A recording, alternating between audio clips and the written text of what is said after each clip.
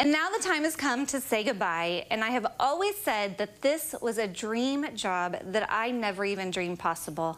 I have been so incredibly, incredibly blessed by my time here, and my prayer and hope has always been that I would be a blessing to you at home, and that everything I've done or said here would glorify God, who has made this whole experience possible. God is so, so good, and He has been so good to me. And I have a final thank you to send out to my amazing family, my biggest fan club and loudest cheerleaders.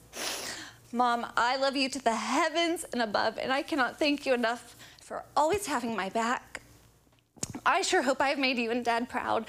And to my grandma, who never misses a show, to my brother and sister, Dustin and Ashley, all of my in laws, thank you for always supporting me.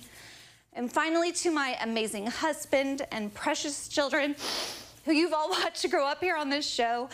You are my world. Everything I do is for you, and my cup runneth over. I love you so, so much. Central Illinois, thank you for everything. Thank you for embracing me. It has been an honor. It is not goodbye, it's until next time. I love you and God bless.